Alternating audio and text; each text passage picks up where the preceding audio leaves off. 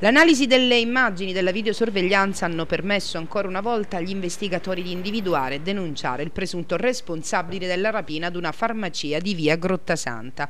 Nei guai è finito un quarantenne che è stato individuato dagli agenti della squadra mobile della questura di Siracusa mentre stava transitando per Piazzale Marconi.